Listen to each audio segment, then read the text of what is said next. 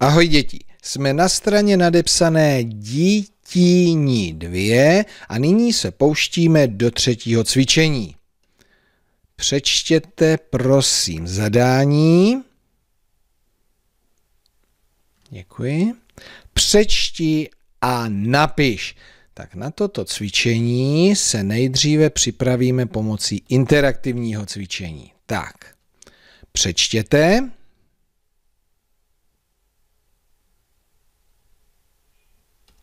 Malé lodě jsou lodičky. Další.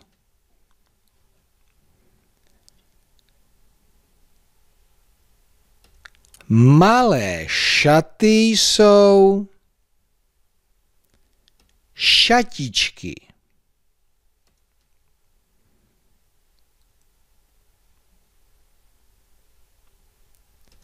Malé boty jsou botičky.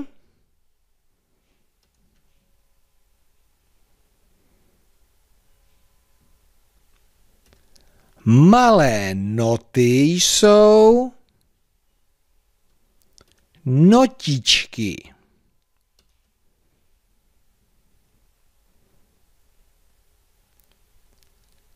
Malé děti jsou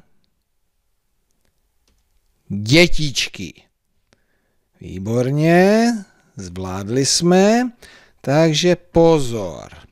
Až budete psát slova, tak nezapomeňte, že když budete psát di, píšete d měkké i.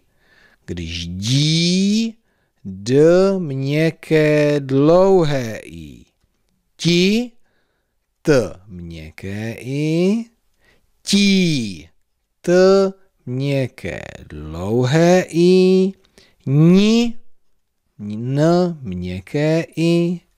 Ní, n měkké dlouhé i. Tak prosím, přerušte video a cvičení vyřešte. Držím vám palce, tohle opravdu není úplně jednoduché. Ale vraťte se, porovnáme řešení.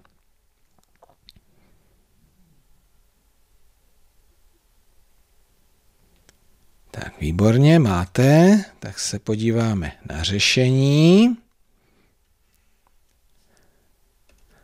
Malé lodě jsou lodičky. L O, D, měkké I, Č, K, tvrdé I. Tečka na konci věty. Máte správně napsáno di, lodičky, D, měkké I. Výborně. Malé šaty jsou šatičky.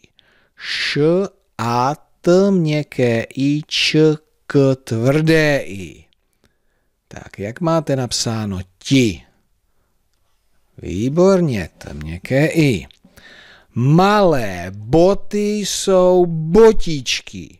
B, O, T, měkké I, Č, K, tvrdé I.